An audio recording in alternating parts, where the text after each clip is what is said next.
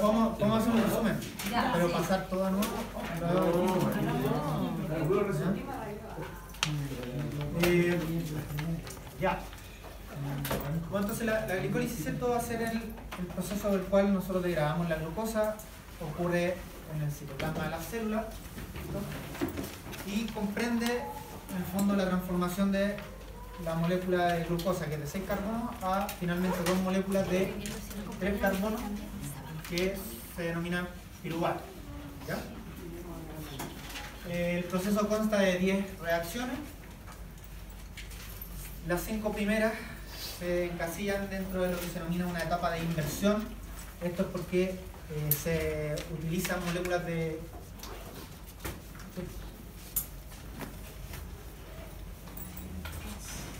Ahí, ahí. Entonces hasta las cinco primeras eh, se denomina la etapa de inversión porque en el fondo se utiliza ATP. Y eh, en las cinco siguientes, ¿cierto? Viene lo que se denomina la etapa de eh, ganancia o de beneficio, porque es donde nosotros obtenemos el ATP. Y otra cosa importante que obtenemos de la glicólisis, ¿cierto? Son moléculas de NAD reducido. ¿ya? Ah, bueno, a grandes rasgos, lo primero que tenemos, ¿cierto? Es que la glucosa, en primer lugar, nosotros para poder como comprometerla en el proceso de glicólisis nosotros tenemos que activarla ¿ya? y es activarla involucra agregarle un fosfato en el carbono número 6 esa reacción es la primera la glicólisis y está catalizada por la enzima que se llama la exoquinasa.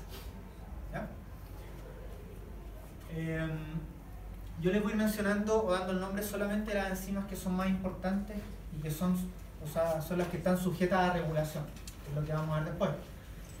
Eh, ok, entonces, en sí esta glucosa, ¿cierto? Se pueden ir fijando en el dibujo acá al lado, quizás para ir entendiendo mejor. Acá está la glucosa, aquí están los, los carbonos enumerados de la glucosa.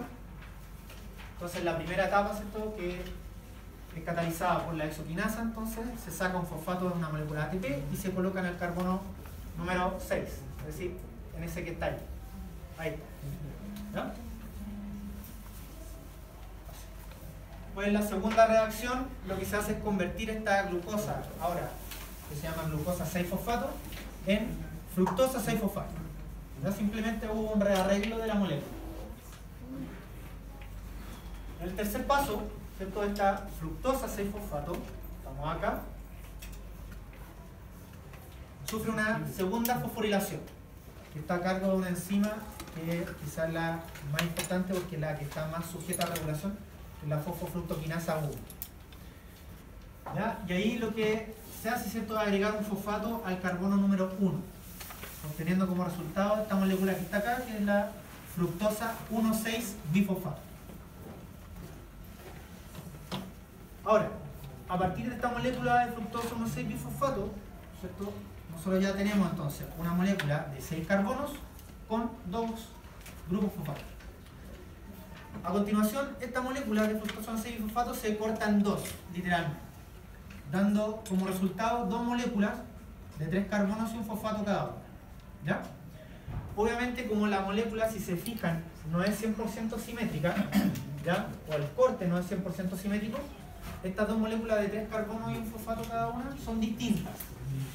Una recibe el nombre de dihidroxiacetona fosfato y la otra se denomina disaldehído 3-fosfato. ¿no? Aquí está esquematizado ¿cierto? con los dos colores y lo que resultaría. ¿Estamos? ¿Estamos ahí? ¿Vamos muy rápido? ¿No? ¿Se repaso, no? ¿Ah?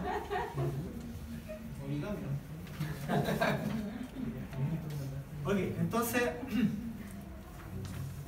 ahora, ¿qué va a pasar acá? El resto de las enzimas encargadas de glicólisis, ¿cierto? Solamente pueden procesar el gliceraldehído 3-fosfato, no esta otra que es la de hidroxidocetona fosfato. Entonces va a haber un paso intermedio, ¿ya? Catalizado por esa enzima que está ahí, que lo que hace es convertir esta molécula, la hidroxiacetona fosfato, en gliceraldehído 3 fosfato. ¿No? Entonces finalmente, ¿cierto? De la glucosa, en una, al final de la etapa de inversión voy a tener dos moléculas de gliceraldehído 3 fosfato.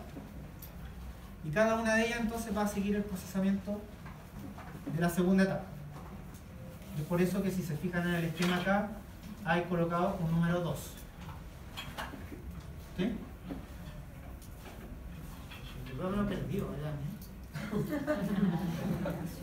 ¿Cómo, ¿Cómo ocurre este paso del deshidroxilazo- deshidroxicetona fosfato a el segundo gliceraldehído?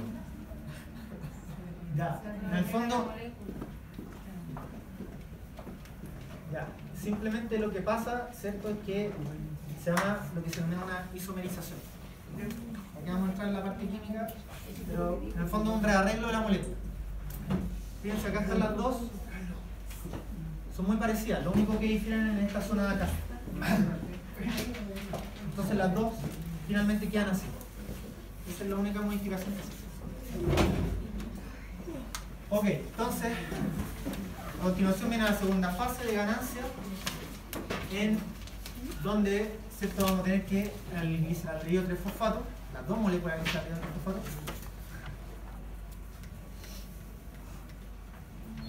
se van a convertir en esta molécula de 1,3 bifosfoglicerato. ¿Ya?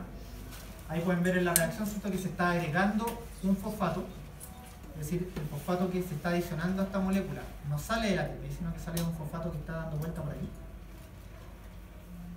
Y quiero también que se fijen en la reacción y me digan qué, qué otra cosa le está pasando a esta molécula de gliceraldehído 3 fosfato.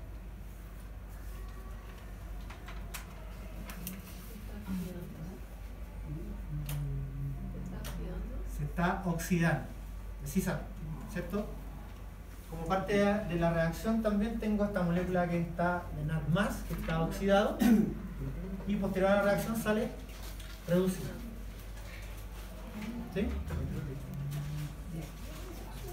Entonces, esta parte es importante, después vamos a ver por qué. En el fondo yo para que ocurra glicólisis yo necesito tener un suministro de NAD que esté oxidado, precisamente por este paso. Para que tengan eso en mente por lo que vamos más adelante. Ok, y generamos esta molécula que se llama 1,3-bifosfoglicerato. ¿Ya? Eh, ahora, ¿qué tiene de importante el 1,3-bifosfoglicerato? Que es una molécula que se denomina un intermediario de alta energía. ¿Y ¿Qué quiere decir esto? Que ella tiene la capacidad de permitir la síntesis de ATP. ¿ya? En un proceso relativamente expedito y rápido. ¿De acuerdo? En el que simplemente la molécula libera su fosfato y se lo coloca a una molécula de ADP. Y ahí entonces es donde tenemos la primera obtención de moléculas de ATP. ¿Ya? Quedando entonces ahora como 3 fosfoglicerato. Antes era 1, 3, ahora quedó como 3 solar. Porque el otro fosfato se lo entregó a la ADP. ¿Ya? Ok. Después ese 3 fosfolicerato sufre una conversión a 2 fosfolicerato, es decir, si se fijan la molécula simplemente cambió la posición del grupo fosfato, nada más. Después esa molécula de aquí va a sufrir una deshidratación hasta que quedamos en, el fosfonol piruvato. El fosfonol piruvato, ¿cierto? Es el segundo intermediario de alta energía que obtenemos en esta glicólisis. Y, como ya saben, ¿cierto? De alta energía va a permitir la síntesis de ATP, que es lo que vamos a tener acá. Dando entonces como resultado de la última reacción de glicólisis, ¿cierto? Bueno, Del- en el 9, ¿qué en el 9 sale una molécula de agua, es decir, esta molécula se está deshidratando. A deshidratación. Sí. ¿Ya? Ya. Ahora, este último paso está catalizado por la tercera enzima importante, que es la piruvato quinasa. ¿Ya?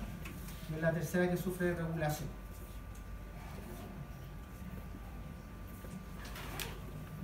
¿Estamos?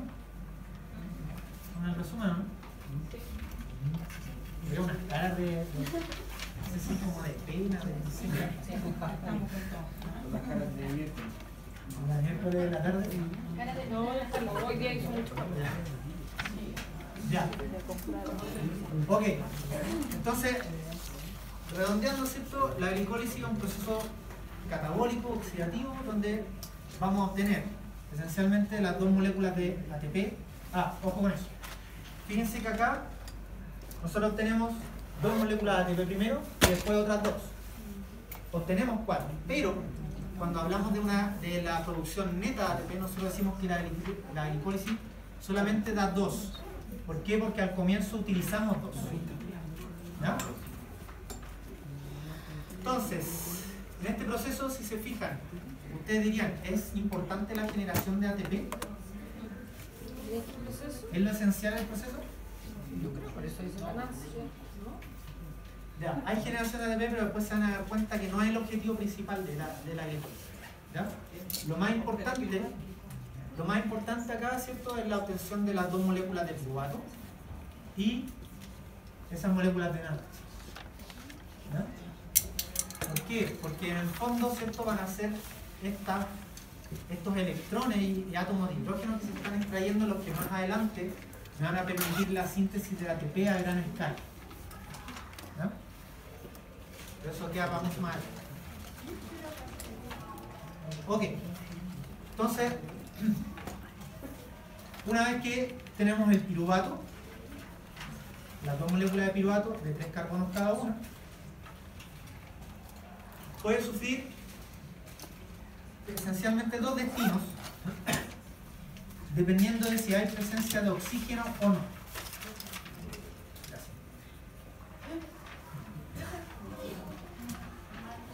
Entonces, ¿qué va a pasar? Cuando hay oxígeno, ese piruvato va a ser destinado al resto del proceso oxidativo que se llama re- respiración celular y va a entrar a la mitocondria, va a ser convertido en una molécula que se denomina A, va a entrar al ciclo de Krebs, después de ahí se van a obtener otros, o sea, se van a extraer electrones para entregarlos a las cadenas transportadoras de electrones, fosforilación oxidativa, etcétera, etcétera. Me imagino que más de alguno habrá escuchado sobre eso alguna vez. ¿Ya? Ok. Eso va a pasar en el caso que tenemos oxígeno. Cuando no hay oxígeno, ¿ya? Obviamente, ese piruvato no va a la mitocondria, por lo tanto, la producción de ATP a gran escala no va a ocurrir. ¿ya? Y ese piruvato entonces es destinado a un proceso alternativo que se denomina la fermentación. ¿ya? Y la fermentación va a tener de distintos tipos dependiendo del organismo. Hay fermentación que se denomina láctica, que esencialmente la llevan a cabo algunos microorganismos y nosotros. Fermentación alcohólica, que la llevan a cabo algunas bacterias y levaduras. Bueno, y hay una serie de otros tipos de fermentaciones, pero para el caso lo que nos importa a nosotros son estas dos. Y esencialmente, adelantándole un poco la materia, el objetivo, ¿cierto?, de, de la fermentación es precisamente el poder yo recuperar la molécula de NAD oxidada. ¿Se acuerdan que les comentaba acá? Que necesitaba NAD, oxidado para que ocurriera el proceso. Ya. ¿Y ¿Se acuerdan que le dije que estos electrones finalmente después iban a ser entregados a la mitocondria para producir ATP? Ya. Si no hay oxígeno, estos electrones no se entregan. Por lo tanto, permanece como NADH. Y no tendría NAD más. Cuando no hay oxígeno, ¿cierto? Se me empieza a acumular el NADH. ¿Sí? Porque no hay a quien entregar electrones. Y entonces ocurre el proceso de fermentación que es precisamente para poder ese NADH reoxidarlo y así vuelvo a tener NAD más y yo puedo continuar con la glicólisis y esa célula que está sin oxígeno puede obtener al menos el ATP que le da la glicólisis. ¿No? Eso lo vamos a ver más en, de- en detalle más. Ya. Ahora lo que se supone que teníamos que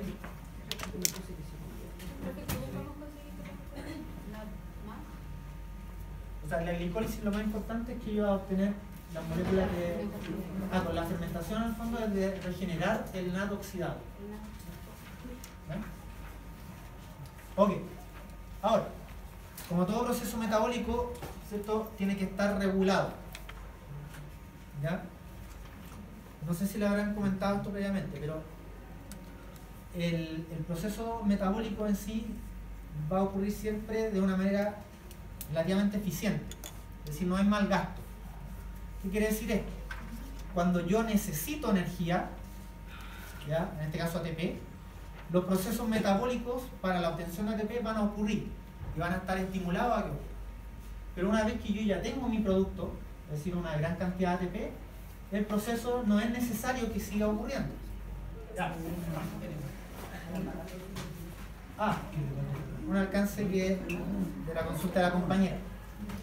Vale destacar ¿cierto? que la glicólisis es un proceso que va a ocurrir haya o no haya oxígeno.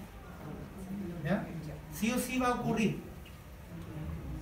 Ahora, obviamente cuando hay oxígeno va a ocurrir relativamente más rápido porque en el fondo todo el piruvato va a ser destinado a la mitocondria, etcétera, etcétera. Y si no hay oxígeno, simplemente va a ocurrir la fermentación, voy a regenerar NAD más y voy a poder continuar. ¿Ya? A la glicólisis no le importa si hay oxígeno o no.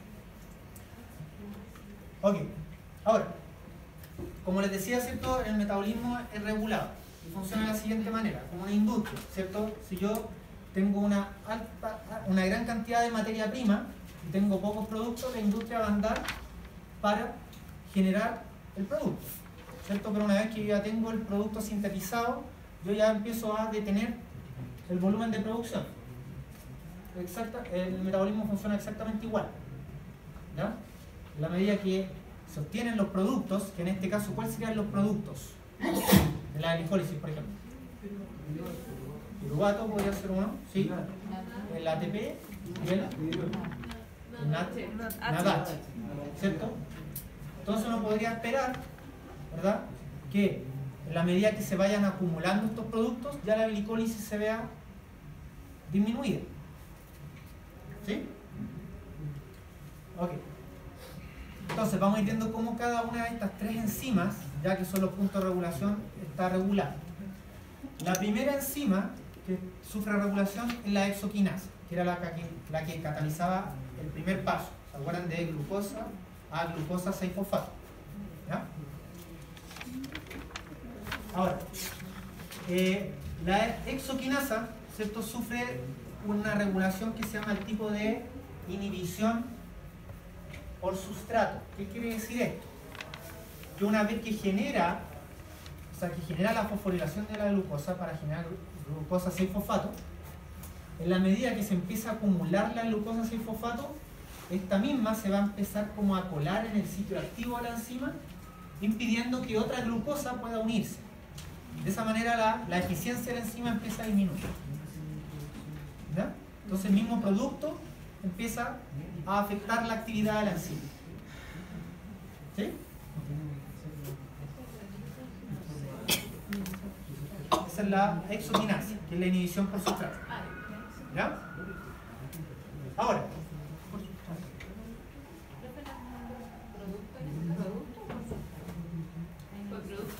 se llama una inhibición por sustrato.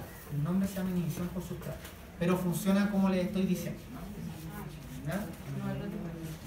Sí, sé que como una incongruencia en el funcionamiento con el nombre. Pero así funciona. Y así se llama.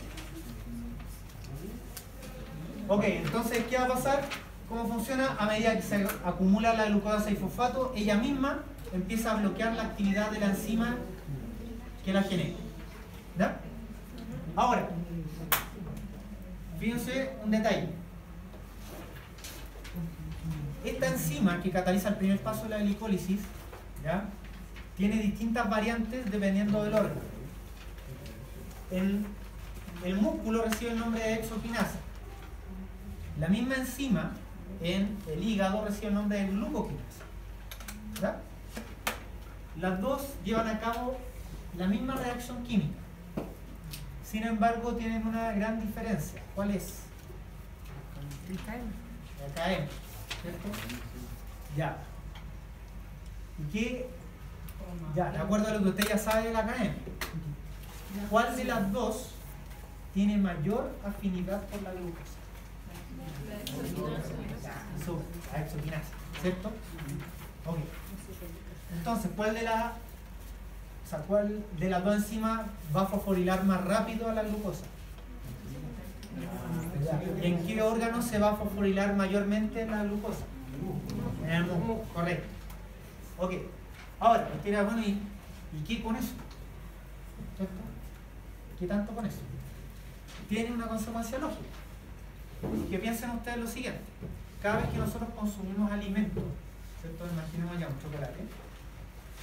Este va a llegar al intestino, el intestino va a pasar a los vasos sanguíneos, ¿cierto? Y va a tomar la vía venosa hasta la vena porta.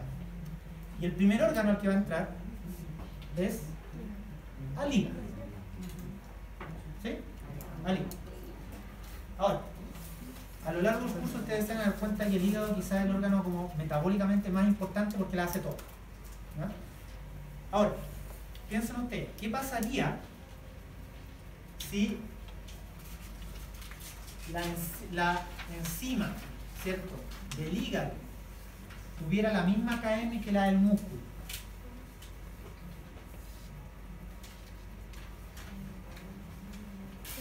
¿Cuál sería el problema? Que la glucosa, ¿cierto? Como el primer lugar que llega es al hígado, toda la glucosa se quedaría en el hígado. ¿Cierto? Porque glucosa que entra se fosforila al tiro y una vez que se fosforila ya la glucosa no puede abandonar la célula. Por lo tanto, podríamos decir coloquialmente que el hígado como que se aseguraría o se cabronaría con toda la glucosa. Y el músculo, ¿Sí? Ahora, ¿cómo se evita eso?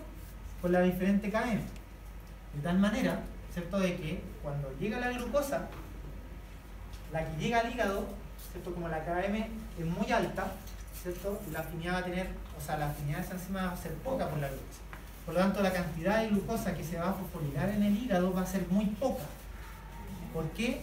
Porque va a privilegiarse que llegue la glucosa a tejidos distintos como el músculo. ¿Sí? Entonces, la diferencia en las KM me asegura de que hay un suministro de glucosa al resto de los tejidos y que no se quede en el músculo, en el hígado. ¿Sí? ¿Estamos? Ya. ¿Dudas con esto? ¿No? Ok. La segunda enzima importante que yo les comentaba era fosfofructoquinasa 1, que catalizaba, ¿cierto?, el tercer paso, que era la fosforilación de la fructosa 6-fosfato a fructosa 1,6-bifosfato. ¿Ya? Y en este caso, vamos a tener, ¿cierto?, lo que les mencionaba anteriormente. Cuando los niveles de ATP aumentan, se va a inhibir la enzima. ¿Sí? Lo que les decía antes, a medida que yo tengo ya generación del producto, ya no se hace necesaria la formación de más productos. Por lo tanto, esta misma empieza a bloquear o a inhibir las enzimas que se encargan de su producción. ¿Ya? Entonces, También es inhibición por sustrato. no. En este caso, ahí vamos a ver, esta inhibición que sufre esta enzima es una inhibición del tipo alostérico. ¿Se acuerdan cómo funcionaba la sustrato.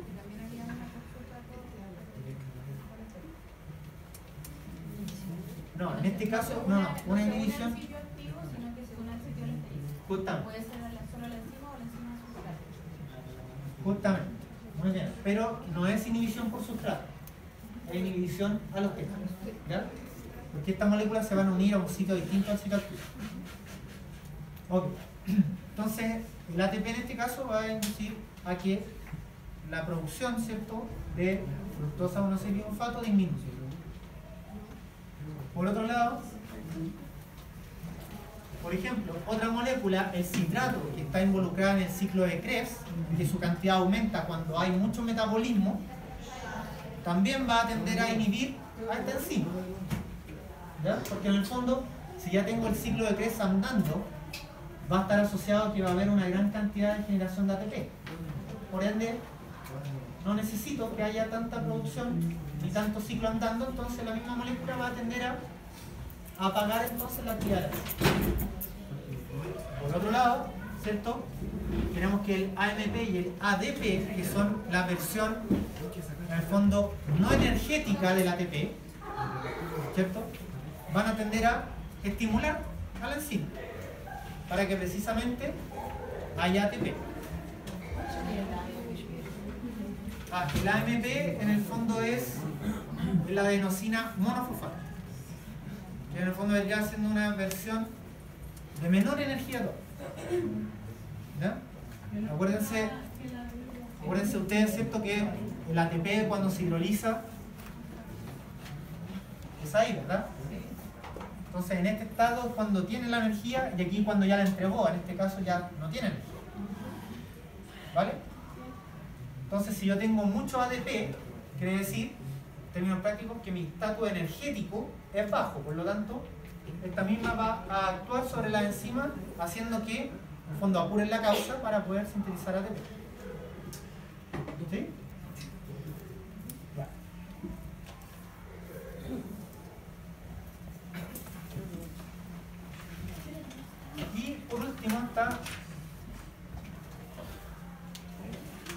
2,2,6 bifosfato.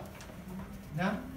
La vamos a ver más adelante, pero es una molécula ¿ya? que se genera cuando la glicólisis está muy estimulada. Después lo vamos a ver en esa molécula, porque tiene todo su parte. Entonces cuando está en gran cantidad va a estimular y que ocurra la glicólisis.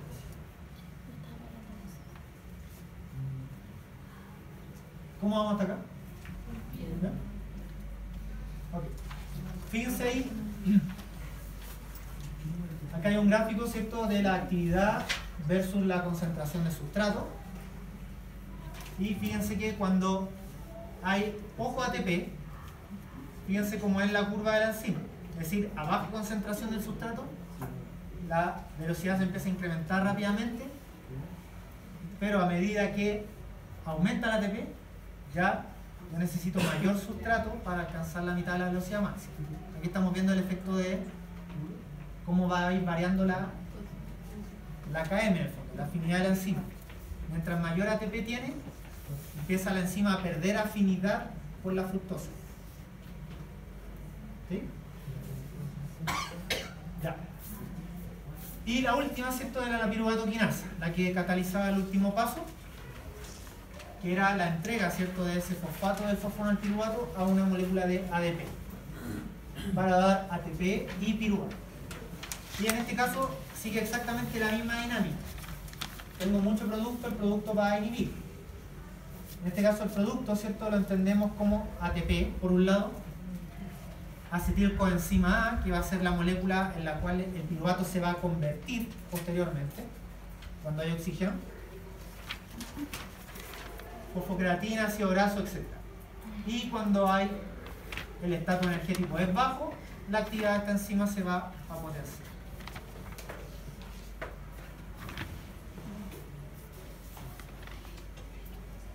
¿Yo alguna duda con respecto a esto? ¿Cuál es? Esta también inhibición a los peptidos. La, la exoquinasa es la única que es inhibición a nivel de sustrato. La fosforutoquinasa 1 y la piruvatoquinasa son inhibiciones a los. Ok, ahora, una cosa, ojo, para que lo tengan en mente. Hoy día, ¿cierto? Vamos a ver el inicio del metabolismo carbohidrato, pero después más adelante, cuando vean el resto de las moléculas y el resto de los procesos metabólicos, se van a dar cuenta que sigue exactamente la misma tónica. Es decir, todo, el metabolismo está orientado, el metabolismo catabólico, que es el que principalmente vamos a ver en el curso, está orientado a la obtención de moléculas reducidas y la obtención de ATP. Y que siempre el ATP y las moléculas reducidas van a actuar inhibiendo a enzimas, va a, ser, va a ir dependiendo de qué enzima, Y las moléculas, en este caso, por ejemplo, el NAD oxidado y el ADP van a tender a activar a la enzima. Bueno, aquí tienen como un esquema de la regulación total. Aquí un poco el resumen de lo que acabamos de ver. Ah, y esta es la última parte de, la- de esta clase. Y lo siguiente. Que nosotros cuando vemos este tema, ¿cierto? La glicólisis hace alusión a la degradación de glucosa. ¿Ya? Sin embargo, ¿cierto? Nosotros cuando consumimos azúcar de la naturaleza, nosotros no consumimos glucosa sola. Normalmente la glucosa está en forma de disacáridos, ya sea como maltosa, como sacarosa o como lactosa. La sacarosa es un disacárido de glucosa con fructosa. La maltosa son dos glucosas. Y la lactosa va a ser glucosa con galactosa. ¿Sí? Entonces, una vez que, bueno, ahí la mayoría, ¿cierto? El azúcar de caña es sacarosa. Ya la que usted le echa al, al té, no sé, a los puertos. Ahora, cuando nosotros consumimos estas cosas, ¿cierto? Llegan al estómago y ahí estos disacáridos son cortados por enzimas. Hay enzimas que se llaman las sacarasas, que va a cortar la sacarosa, y la lactasa, que va a cortar la lactosa. Y que va a generar entonces cada uno de los monosacáridos por separado. Estos van a ingresar a la célula. Pero, ¿qué va a pasar en este caso, por ejemplo, con la fructosa y con la galactosa? Nosotros vimos cómo es el procesamiento de la glucosa, ¿cierto? Pero ¿qué pasa con galactosa y fructosa? Bueno, tenemos, ¿cierto? Que obviamente la naturaleza es muy sabia y todo se aprovecha. En el caso de la fructosa, ¿ya? nosotros podemos hacerla ingresar de manera alternativa a la glicólisis. Acuérdense que uno de los intermediarios de la glicólisis es precisamente la fructosa monofosfato. Entonces simplemente ¿cierto? vamos a tener de que cuando nosotros consumimos fructosa, esta fructosa va a haber una enzima que la fosforila directamente para generar fructosa monofosfato. Y de ahí en adelante sigue el mismo camino descrito para glicólisis. ¿Ya? En el caso de la galactosa, también va a haber un set enzimático que se encarga de modificar a la galactosa para transformarla finalmente en glucosa. ¿Ya? Entonces, aquí va esto. No existe una vía exclusiva para cada monosacárido. Es decir, la de la glicólisis es la principal y todos los monosacáridos ¿cierto? que yo consuma son modificados de tal manera que puedan ingresar en algún punto del proceso. ¿Vale? Ok, ¿dudas con respecto a algo de esto? ¿No? ¿Seguro? No sé si les tinca que antes de que salgan a recreo veamos la fermentación, es relativamente corto. ¿Sí?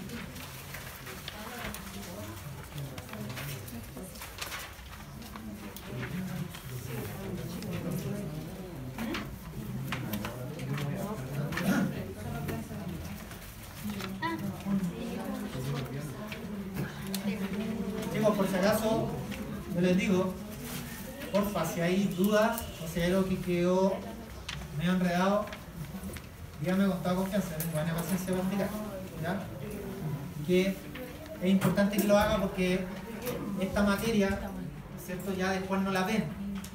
Entonces, es súper importante lo que pasa acá porque después, ya más adelante, ¿cierto? Cuando tienen que integrar metabolismo, ya se asume que usted ya conoce todo esto eh, saben al menos lo más importante ¿cierto? es qué se produce de la glicólisis. ¿sí? ¿Cuáles son las enzimas que son reguladas? ¿Y cómo se regula en general? Claro, ¿qué moléculas son las que van a atender a inhibir o qué moléculas estimulan? ¿No? Sí, totalmente entendido.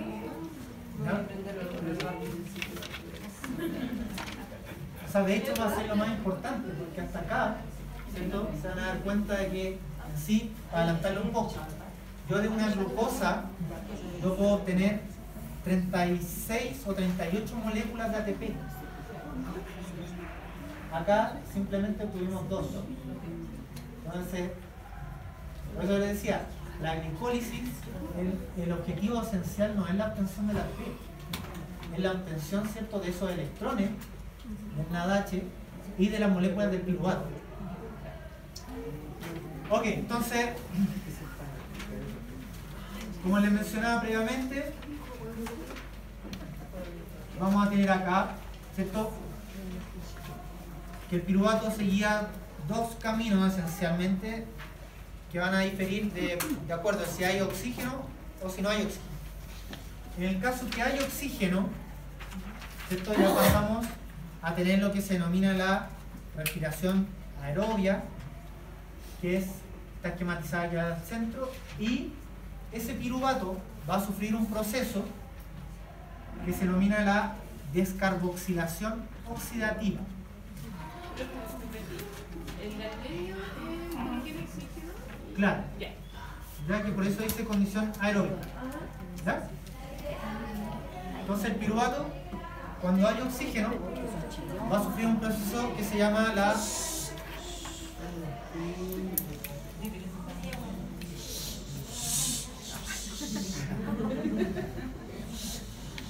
que es la descarboxilación oxidativa. Y aquí es donde yo apelo a su a su cerebro. Sí, así, apelemos. ¿Qué creen ustedes que le pasa a ese piruvato? Si entra en un proceso de descarboxilación oxidativa. ¿Qué podría pasar? ¿Alguien lo dijo por ahí? ¿Se puede hacer? Se oxida, de partida. Ya, se oxida. ¿Qué otra cosa? Pierde un carbono. De hecho, ahí está, ¿cierto? Ahí está el proceso. Se oxida, fíjense que teníamos el NAD+, y le quita electrón para generar NADH y sale una molécula de CO2. Listo. ¿Y qué obtengo? Como final del proceso, una molécula de acetilcoenzima A, que es la que va a entrar al ciclo de Krebs. Eso lo van a ver después. ¿Ya? Eso va a ocurrir cuando hay oxígeno y que va a llevar ¿cierto? a la producción de ATP a gran escala.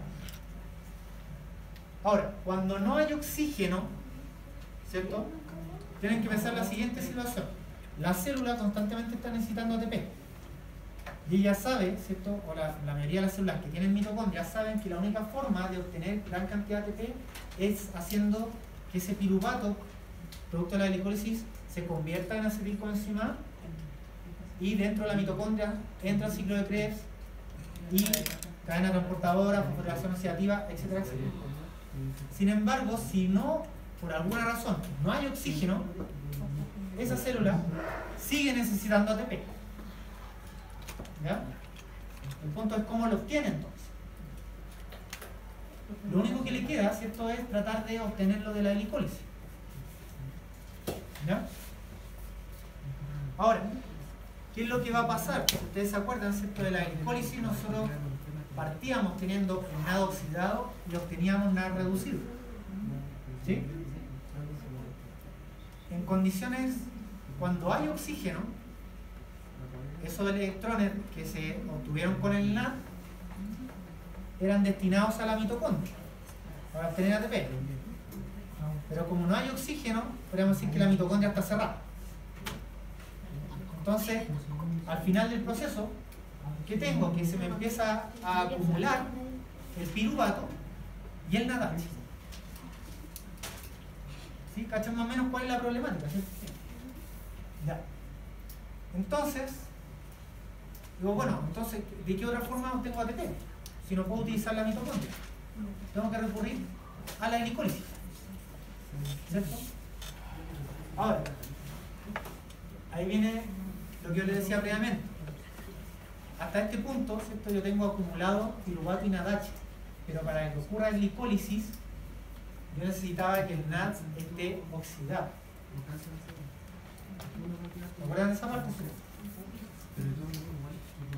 Entonces, ¿cierto? Va a ocurrir que en condiciones anaeróbicas, ¿cierto? Vamos a tener que la fermentación consiste en que el piruvato, entonces, va a recibir esos electrones del NADH y se va a reducir para formar lactato en el caso de fermentación láctica o alcohol en el caso de la fermentación alcohólica. ¿Qué voy a lograr con eso? ¿Cierto? De que el NADH que estaba acumulado le entrega los electrones y al entregarle los electrones, ¿qué voy a obtener?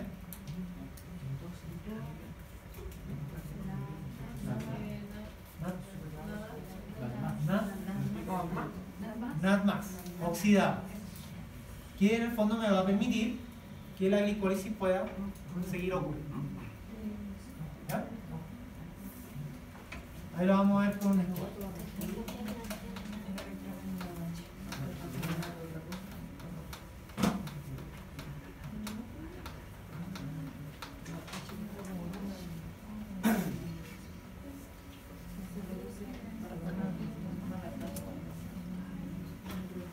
Tenemos esta situación. Nos veo medio perdido todavía, así que. Teníamos esta situación, ¿verdad? Cuando tengo oxígeno, este piruvato va a irse a la mitocondria, entrar al ciclo de Krebs, etc. Y estos electrones del NADH van a ser entregados también al proceso correspondiente de la mitocondria. ¿Sí? Como va a entregar los electrones, ¿cierto? Va a volver a ser NAD más y puede permitir que la glicólisis siga ocurriendo. Aparte, como el piruvato va a ir disminuyendo, ¿cierto? Yo tengo que mi producto disminuye, por lo tanto, se me va a estimular a que el proceso siga ocurriendo.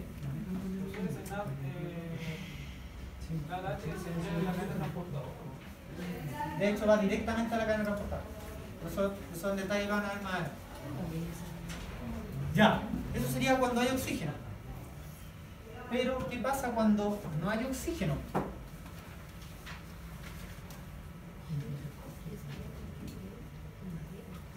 Tengo eso.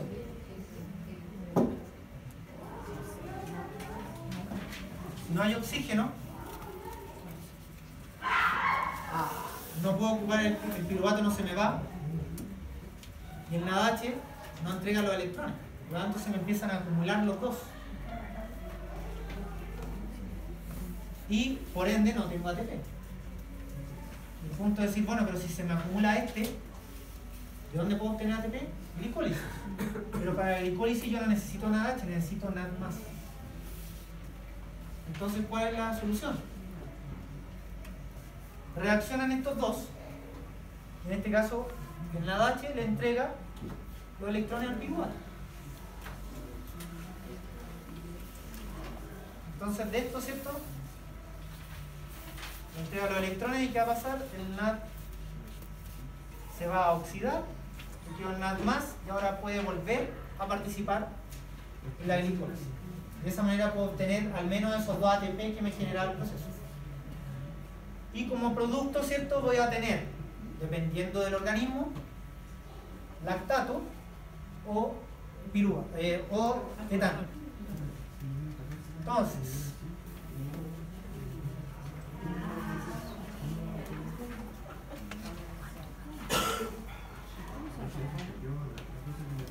entonces vamos bien. En el caso de la fermentación alcohólica, ya, la, ojo con una cosa, indistintamente de la fermentación que sea, van a compartir. En primer lugar, que las dos ocurren cuando no hay oxígeno y que las dos están enfocadas a obtener nuevamente NAD+.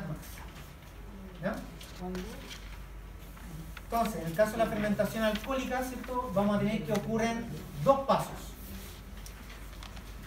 Primero el piruvato, ¿cierto? Sufre... ¿Qué es lo que le está pasando ahí al piruvato? ¿Qué podrían decir ustedes?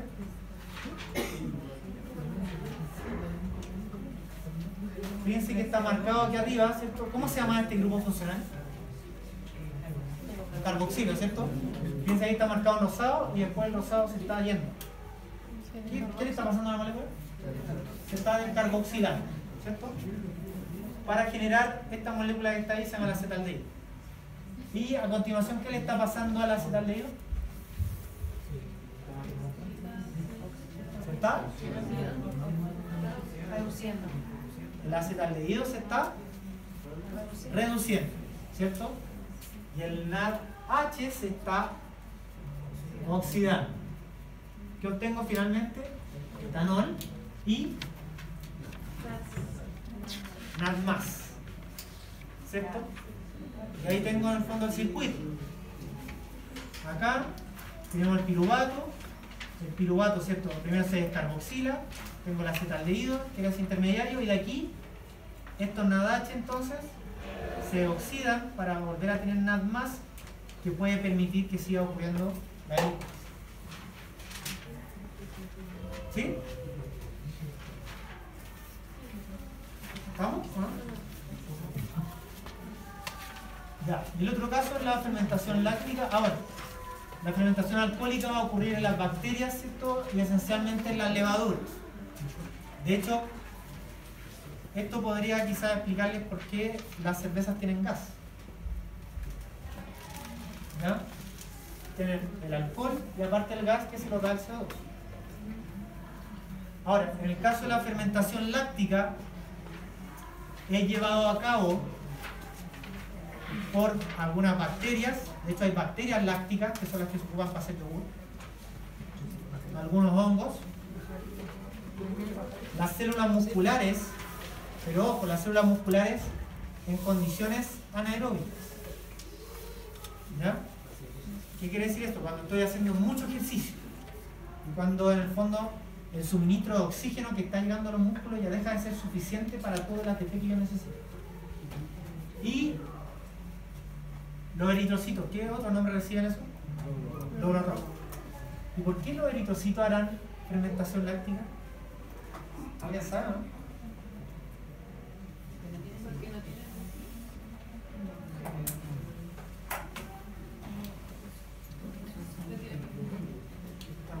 ¿Cómo? No tienen mitocondria, justamente. Los glóbulos rojos no tienen mitocondria. Por eso llevan a cabo fermentación. No les queda de otro. Ok, y fíjense acá entonces el piruvato, la misma tónica. Tengo que deshacerle el NADH. ¿Qué le está pasando al piruvato entonces? ¿Se está? Se está reduciendo a lactato. ¿Y qué obtengo? NAD más. Que me va a permitir entonces poder continuar con la glucosa. ¿Sí? Ahora, diferencias de estos dos procesos, ¿cierto? En que la fermentación, similitudes ya sabemos, las dos ocurren láctica y alcohólica en ausencia de oxígeno y las dos están enfocadas en regenerar el NAD oxidado para poder continuar con glicólisis.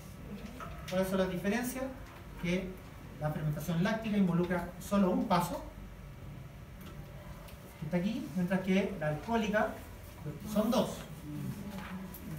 La fermentación láctica involucra solamente la reducción del piruvato y la alcohólica involucra la descarboxilación del piruvato y después la reducción del intermediario que es el acetaldehído.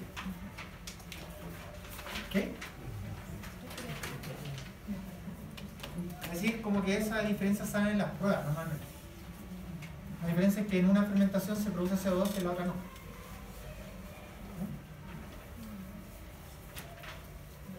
Eso. ¿De qué? ¿Cómo?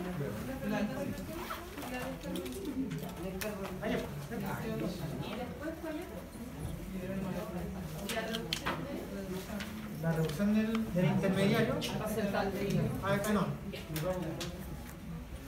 Y al final aquí lo importante, lo importante de todo esto, fíjense que acá no hay producción de ATP.